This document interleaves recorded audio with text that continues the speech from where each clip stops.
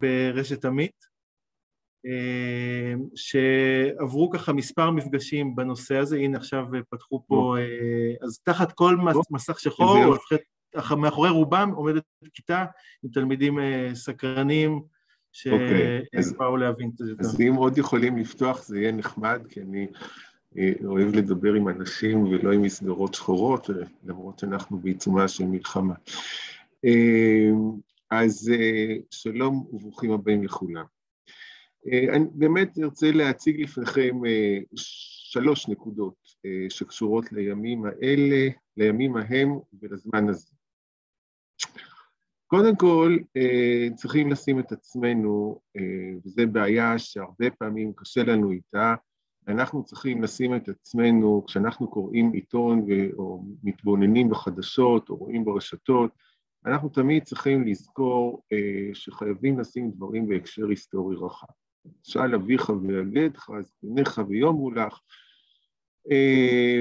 זאת, זאת כמעט מצווה, כן, להתבונן מזקנים ולראות איך העולם נראה. במקרה הזה יש לי מעורבות אישית מאוד גדולה בסיפור הזה. לפני, אבי זיכרונו לברכה נולד לפני 111 שנים, בשנת 1911, במה שקראו אז גליציה, זה היה אז חלק מהאימפריה האוסטרו-הונגרית, וזה היה, היום זה יושב באוקראינה, אמצע אוקראינה. העיירה הזאת הייתה עיירת גבול, העיירה שהוא נולד בה נקראת שטין, הייתה עיירת גבול, שמצד אחד של הנהר שלה היה רוסיה, בצד המזרחי, ובצד המערבי האימפריה האוסטרית. כשהיה ילד בן שלוש, פרצה מלחמת העולם הראשונה, והוא זוכר את עצמו כילד, זיכרונות, זכר את כילד, כילד, ילד בן שלוש, ב- בלילה אחד, מוצא מן הבית, עטוף בכרים וכסתות, מועלה על עגלה עם סוסים, יחד עם ההורים שלו והאחיות שלו, ובורחים מאזור הגבול שהרוסים פלשו, פתחו במלחמה, או השתתפו במלחמה, האימפריה האוסטרית, וזמן קצר אחרי פרוץ מלחמת העולם הראשונה, בורחים מערבה. ובמשך כל שנות המלחמה הם היו פליטים נודדים בעיירות עיר מסוימת במה שנקרא היום סלובקיה, ובסוף המלחמה הם חזרו לעיר שלהם, העיר שם באותה תקופה גם פוגרומים, אבל בסופו של דבר הם חזרו לעיר שהייתה די חרבה, שיקמו אותה מחדש, העיירה הזו, וחיו שם עד שנת 1939. תחת שלטון של המדינה שנקראה אז פולין. חלק, זה היה חלק מפולין אז, בעקבות מלחמת העולם הראשון. פעם שנייה, 1939, בפריצות, בפרוץ מלחמת העולם השנייה, שוב אותו סיפור, הרוסים נכנסו, כבשו, זה היה הסכם בינם לבין הגרמנים, של חלוקת המזרח של פולין לרוסיה והמערב לגרמניה, זה לקח שנתיים, ב-1941 הגרמנים תקפו את הרוסים, כבשו את כל האזור הזה, ואבא שלי בכלל נלקח לצבא הרוסי. ובילה ארבע שנות מלחמה כחייל רוסי, קור שלג, לא נרחיב עכשיו את הסיפורים, וכשהוא חזר שוב לא הייתה עיירה, לא היו לו הורים, לא הייתה לו אחות, כולם נרצחו שם על ידי גרמנים, ובסופו של תהליך וגלגול מסוים הוא עלה לארץ. זו הפעם השלישית בעצם בהיסטוריה שלנו, כן, הקרובה, מאה, תוך מאה שנה. פעם שלישית שהרוסים נכנסים לאזור שהיום קוראים לו אוקראינה, והיהודים בבעיה. אבל, וצריכים לברוח, אבל יש הבדל אחד, גדול, מכריע. בשתי הפעמים הקודמות לא היה ליהודים לאן לברוח, וכשהיה להם לאן לברוח, הם היו פליטים שלא יכלו לדעת מה ילד יום ומי יגן עליהם. היום, בניגוד לפעמיים הקודמות, בניגוד לכל הפעמים שלפני זה, של הפוגרומים ביהדות מזרח אירופה, על הגבול מחכים להם שליחים של מדינת ישראל שדואגים שיהיה להם לאן להגיע, שיהיה להם, יש להם פה בארץ מדינה שמחכה להם, שמוכנה להפוך אותם בן יום, בן לילה, לאזרחיה, לדאוג להם, לצרכים היסודיים של הקיום שלהם, ועל הדבר הזה, זה הצעד הראשון, זאת ההכרה הראשונה שאנחנו צריכים להכיר, טובה לקדוש ברוך על החסד הגדול שהוא עשה עם עם ישראל לפני 70 שנה, קצת יותר מ-70 שנה, בזה שהוא הקים את מדינת ישראל. הוא אפשר לנו להקים את מדינת ישראל, הוא אפשר לנו לבנות כאן ארץ מקלט לעם ישראל. וזה לא כל כך משנה מה דעתנו על המצב הפוליטי במדינת ישראל, ולא כל כך משנה מה דעתנו על המצב הדתי של מדינת ישראל, ולא כל כך משנה מה דעתנו על המצב החברתי של מדינת ישראל. מדינת ישראל מיום הקמתה ועד היום הזה היא עוגן, מקלט והצלה ליהודים נרדפים ופגועים בכל העולם כולו. ועל הדבר הזה בפני עצמו, לפני כל התודות שמגיע לקדוש ברוך על מה שיש לנו כאן מבחינה צבאית וביטחונית וכלכלית וחברתית, ו- וכל הזכויות שיש פה, שלא היה כדוגמתה מאז ימי דוד ושלמה כנראה.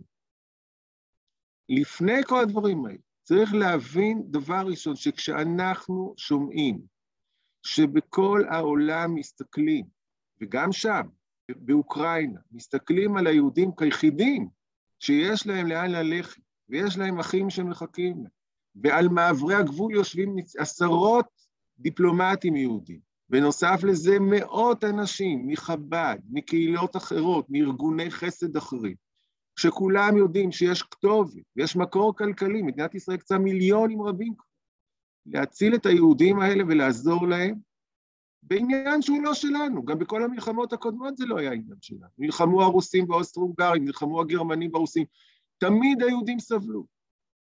ועכשיו אנחנו יכולים לומר לעצמנו שחסד השם עלינו, יש כאן הזדמנות נדירה, אירוע נדיר בתולדות ההיסטוריה היהודית. יש מדינה יהודית, לראשונה מזה אלפיים שנה, שיכולה לדאוג ליהודים נרדפים. ועל הדבר הזה, קודם כל, לפני כל דבר אחר, צריכים להגיד תודה. צריך להגיד מזמור לתודה. וכשנגיע ל... בשבת בבוקר בבית הכנסת, כשנאמר תפילה לשלום המדינה, צריך לחשוב על זה. וכשנגיע בעוד כמה חודשים ליום העצמאות, כשנגיד הלל ביום העצמאות, נצטרך לחשוב על זה. זה היסוד הראשון, המרכזי בעיניי, שכל דבר שאנחנו מתחילים בו, צריך להתחיל בהודיה להשם. הדבר השני, נקודה השנייה שאני רוצה לדבר עליה, שהיא התחדשה ביתר עוצמה ממש הלילה, או אתמול. זאת העובדה המוזרה, הפלאית כמעט הייתי אומר, שראש ממשלת ישראל נוסע לרוסיה, לפוטין, כדי לסייע בניהול המשא ומתן להשכנת שלום בין שתי המדינות הנלחמות. עכשיו צריך להבין את ה... קודם כל צריך להבין כמה הדבר הזה הוא מוזר, זה פלא. מדינה קטנה, שמספר, שטח שלה יותר קטן מחלקיק מתוך אוקראינה. אני לא מדבר על רוסיה, גם מבחינת מספר התושבים, גם מבחינת הגוף. מגיעה למעמד בינלאומי כזה, שראש הממשלה שלה מוצא את עצמו יכול לתווך בין אוקראינה לבין רוסיה, ששתי המדינות, יש לנו איתן יחסים ביום-יום מצוין. עכשיו, אני לא נכנס כרגע בשלב הזה עוד לדיון מי צודק, מי, מי, מי, מי ה, ה, הטוב ומי הרע. למרות שהעולם כולו מניח כהנחה פשוטה שפוטין הוא הרשע והנבל בסיפור, ואוקראינה היא הקורבן המסכן של הסיפור, אנחנו לא תמיד יודעים הכל מה קורה בעולם. אבל אני מניח את הנקודה הזאת בסוגריים. אני מניח שכשם שאני לא בקיא בפוליטיקה, הגיאופוליטיקה של מזרח אירופה, גם רוב האנשים פה, החבר'ה הצעירים והמבוגרים יותר שיושבים מולי, לא בקיאים בפוליטיקה של אה, מזרח אירופה, או הפוליטיקה הגלובלית של העולם, ארצות הברית נגד רוסיה, ברית נאט"ו נגד המזרח, וכן הלאה וכן הלאה. אבל אני כן יודע שראש ממשלת ישראל טס אתמול בשבת עם כיפה על ראשו, עם, ועם השר אלקין בראשו, שכיפה לראשו, לרוסיה כדי להיות חלק מהטבע. הרי הוא לא עשה צחוק מעצמו, הזמינו אותו לשם. הוא דיבר עם זלנסקי והוא דיבר עם, וישב עם פוט, ונסע אחר כך לשולץ, לארצ, ל, ל, לגרמניה. זאת אומרת, יש לו מעמד שהאנשים בעולם מתחשבים בו. איך מדינת ישראל הגיעה למעמד הזה בעולם? זה לא התחיל היום, זה תהליך שהתחיל כבר מראש הממשלה הקודם, מנתניהו כמובן, ש, שקשר לנו קשרים גם עם מדינות אחרות בכל רחבי תבל, עם מדינות המפרץ הפרסי וכן הלאה וכן הלאה. ואני אומר, אנחנו נמצאים עכשיו עשרה ימים לפני, אה, פחות כבר מעשרה ימים לפני פורים, והדבר הראשון שעולה בדעתי כמובן, זה אסתר המלכה, שנכנסת לארמון אחשורוש כדי להציל יהודים. ומרדכי אומר לה, מי יודע אם לעת כזאת הגעת למלכות? היא אומרת לו, אבל מי אני? כל, כל, כל פרס ומדי יודעת, אשר כל איש ואישה אשר יבוא אל המלך, אל החצר הפנימית אשר לא יקרח, עד דתו להמית. מה אני אעשה? והוא אומר לה, אין ברירה, את שם בשביל זה. מהמעט שמספרים על הפגישה, אני לא יודע מה היה שם בפגישה, אף אחד מאיתנו לא יודע מה היה בפגישה, כולם משערים השערות. אבל מההודעות שמסרו באופן רשמי גורמים מדיניים במרכאות כפולות, אמרו שהוא נסע לשם לדבר על שלושה נושאים, כמובן על הנושא עצמו של המלחמה, על אפשר, מתן אפשרות, שפוטין ייתן אפשרות לחלץ את יהודי אוקראינה, לחלץ, לייצר מסדרונות הומניטרי, לייצר אפשרות לחלץ את יהודי אוקראינה דרך רוסיה, ולהציל אותם, וגם דיברו על הגרעין באיראן. למי שהיה איזשהו ספק אם הוא היה צריך, מותר היה לו לחלל שבת, זאת לא שאלה בכלל, הרי זה פשוט, אפילו אם יציל יהודי אחד, יהודי אחד, שלא תיפול עליו פצצה באוקראינה, יהודי, משפחה יהודית אחת, שהוא יחלץ אותה מקייב בזכות המפגש הזה, מצדיק לי שכל מדינת ישראל תיסע לשם בשבת. זה לא שאלה בכלל. אבל הנושא הוא לא שבת, הנושא הוא עצם העניין. העניין הוא שראש ממשלת ישראל, שמייצג את כולנו, גם את האופוזיציה, גם את מי שמתנגדים, גם מי שחושבים שהוא עשה דברים נוראים ואיומים במהלך מסע הבחירות שלו, הכל בסדר, אבל כרגע הוא ראש ממשלת ישראל, ואנחנו מדינה דמוקרטית, אז אם הוא נבחר, הוא נבחר. הוא מייצג את כולנו, והוא האסתר המלכה שלנו. האסתר המלכה שלנו נכנסה לארמון המלך, וזה לא נורא לעשות, לדמות את פוטין לאחשוורוש. זה לא רע. בראש ובראשונה, כי נמכרנו אני ועמי להשמיד ולהרוג ולאבד.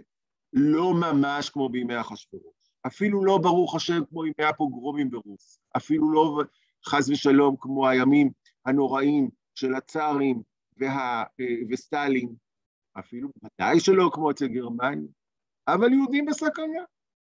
ואם הוא יעשה משהו כדי לעזור, ואם יש שיעשה משהו כדי לה, שפחות יהיה הרג בעולם גם שלא יהודי, והוא יצליח לקדם ולו במשהו תהליך של הפסקת אש, או מניעת מלחמה, או אפילו ממש הפסקה כוללת באיזשהו הסכם, זה דבר נפלא. מה אנחנו אמורים לעשות בהקשר הזה? הלכה אל המלך, מה היא ביקשה מעם ישראל לעשות? אמרה למרדכי, לך כנוס את כל היהודים, וצומו עליי, ואל תאכלו ואל תשתו שלושת ימים, לילה ויום, גם אני ונערותיי אצום כן. וכן אבוא אל המלך אשר לא חדל, וכאשר עבדתי עבד. מה עושים, מה אנחנו יכולים לעשות, חוץ מלדבר פוליטיקה כל היום, חוץ מלקרוא כל הזמן את כל השידורים ברשתות, יש משהו שאנחנו יכולים לעשות? זאת השאלה החשובה. זיהינו מה המצב, עכשיו מה אני יכול לעשות? לא מה הוא צריך לעשות, זה לא העסק שלי מה הוא צריך לעשות, מה אני יכול לעשות. אז בפרק הראשון אמרתי שמה שאנחנו צריכים לעשות ויכולים לעשות זה להודות, להעליל לקדוש ברוך הוא, להגיד כל, מזמור לתודה על איפה שאנחנו נמצאים, נמצאים היום עם ישראל בעולם, במדינת ישראל. בפרק הזה, אם תשאלו אותי מה אנחנו צריכים לעשות, מאוד פשוט, אנחנו צריכים להתפלל.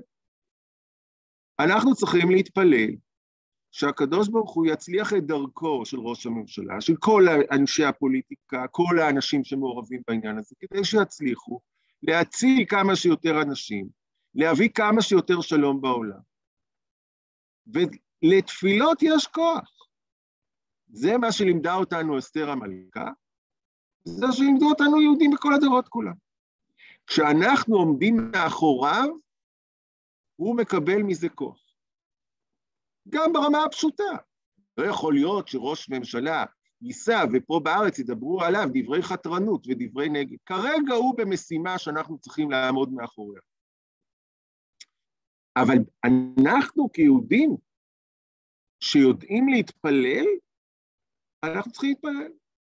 יש תפילה שניסחה הרבנות הראשית, אפשר לומר אותה, אפשר להתפלל תפילה לשלום המדינה, אפשר להתפלל תפילה לשלום העולם. כל יום אנחנו אומרים שלוש פעמים בתפילה, תפילה גדול השלום שכל הברכות חותמות בו.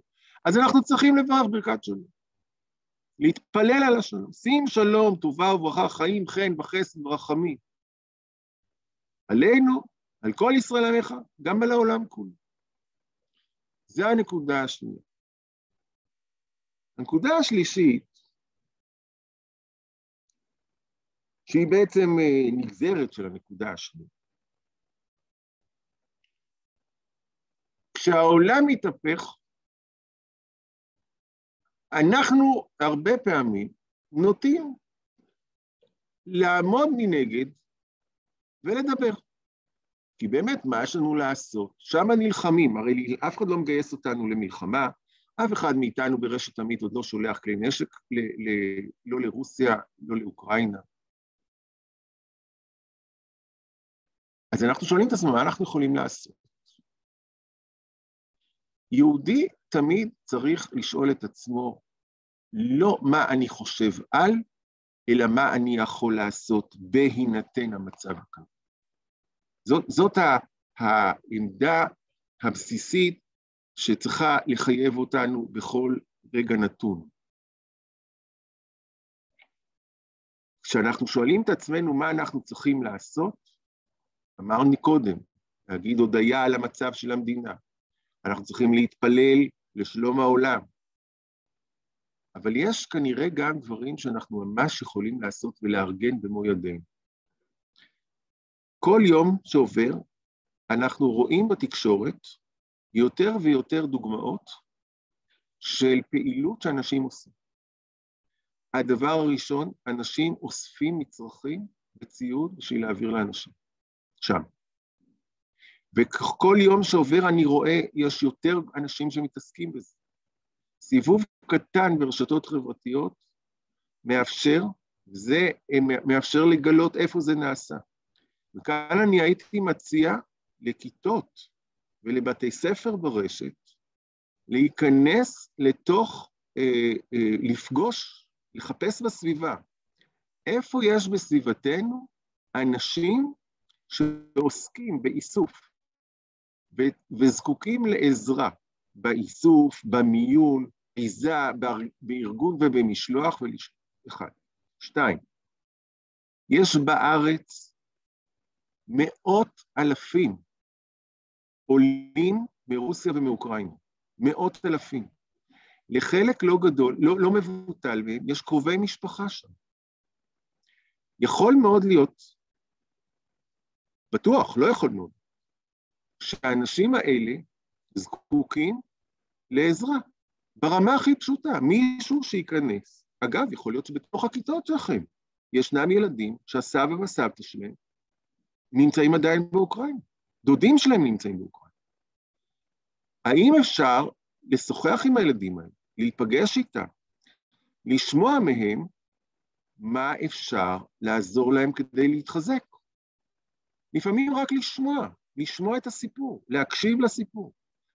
אבל יכול מאוד להיות, ואני מציע לאלה מכם, ארגוני תלמיד, אה, ארגון, כיתות שתתארגנה, מורים שיובילו את זה, מרכזי חינוך חברתי, תבדקו את האפשרות ליצור קשר מסודר, טלפוני, וואטסאפי, זומים, מה שיכולים, עם אנשים ברוסיה ובאוקראינה, בעיקר באוקראינה כמובן, כי שם הבעיה העיקרית, ולשאול אותם. לדבר, אתמול שמעתי תיאור ברדיו שהתארגנה קבוצה של מיילדות ואחיות בארץ לתמוך ביולדות באוקראינה. אישה יושבת באוקראינה על המשבר, יולדת. אין לה שמה מי שיטפל בה. מדריכה מהארץ מדברת בטלפון עם בעלה ומדריכה אותו איך לילד את אשתו, במרתף באזור מותקף. אז אתם לא מומחים במיילדות, אבל אתם כן יכולים, מילה טובה, בארץ ישראל, לדבר עם איזשהו יהודי, או אפילו לא יהודי, שם ברוסיה, או שם באוקראינה, מי שמדבר אוקראינית ורוסית, מה טוב ומה. מי שלא מדבר אוקראינית, יש הרבה יהודים דוברי עברית. בקהילות היהודיות שם. יצרתי קשר עם מי שמנהל את הקהילה היהודית בצ'רנוביץ, עסוק כל הזמן בקליטה של אין ספור אנשים. הם זקוקים לתרומות כסף. כל שקל מצטרף לדבר הזה יכול להציל.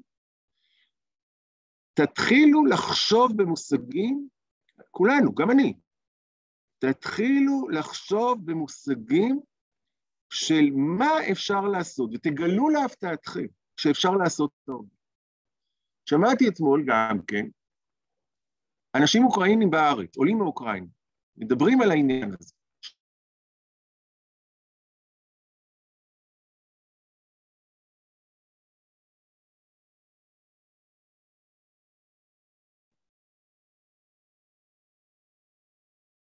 רגע, רב יהודה, אצלכם גם נתקע? נועה? מיכל?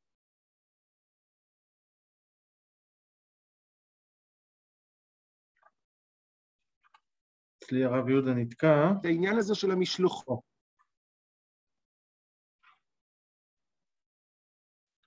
תכף נראה שיש לו בעיית קליטה. הרב יהודה, אתה שומע? רגע, אתה במיוט.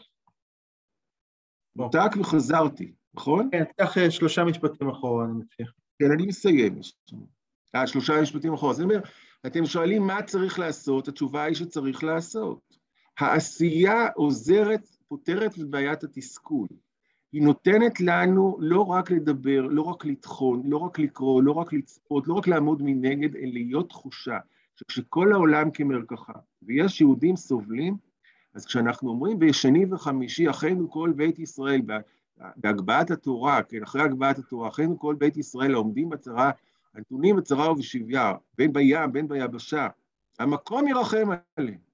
עכשיו, המקום ירחם עליהם, אבל גם אנחנו יכולים לעשות היום משהו, לא רק לרחם עליהם. והאחריות שלנו לעשות היא אחריות מאוד גדולה. כשאני מצרף את כל הנתונים האלה, אני אומר, יש שלושה דברים שיש בכוחנו לעשות. להודות להשם יתברך, איפה מדינת ישראל והיהודים נמצאים היום בעולם, לעומת איפה שהם היו לפני דור או שניים. להתפלל להצלחתם של מי שפועלים למעננו, למען העניין, למען השלום בעולם, ולמען הצלת היהודים. בשבוע הבא יש לנו תענית אסתר, אפשר גם להתענות. והתענית אסתר ממש מתאימה כי אתה מתענה להצלחתה של יהודייה שיוצרת, מייצגת את עם ישראל בפני אומות העולם. אבל, מעבר לזה, תפילות. והדבר השלישי, מעשי ממש. לחפש מי שיכול, להשתדל לחפש יוזמות פעילות שבהן אנחנו יכולים לעשות משהו כדי לעזור. כשאנחנו עושים כדי לעזור, איך הקדוש ברוך הוא אומר, תפתחו לי פתח כפתחו של מחט ואני אפתח לכם כפתחו של עולם. אם אנחנו מצידנו נעשה את חלקנו, אנחנו יכולים לקוות שהקדוש ברוך הוא יעשה מצידו את שלו. יציל את היהודים שנמצאים שם בצרה ומצוקה, ויוביל בסופו של דבר לסיום עיר של המלחמה הזאת, ולאיזשהו שלום יציב ורגוע, לא רק בחלק הזה של העולם, אלא בעולם כולו, ואז זה תהיה לנו ישועת פורים, עד פורים הקרוב אנחנו כבר נוכל לחגוג גם את השלום הזה, בעזרת השם יתברך, ובפסח נדבר כבר על גאולה שלמה במהרה בימים. תודה. תודה רבה, יהודה. אה, נועה? נועה, אנחנו, זה השיחה האחרונה, נכון? אוקיי, יופי. אז אה, תלמידים יקרים, תודה ש... אה, שהייתם איתנו כאן. בעזרת השם נעדכן אם יהיו שיחות נוספות שבוע הבא. הרב יהודה כבר ירד, היה לו ככה ממש מעט זמן לדבר איתנו. אבל אם יש לכם שאלות, אתם יכולים להעביר לי, לכתוב, אליי, לכתוב אה, בצ'אט כאן, אה, להעביר אליי, אה, להעביר לנועה, ואנחנו נעביר לרב יהודה. אז תודה רבה ולהתראות.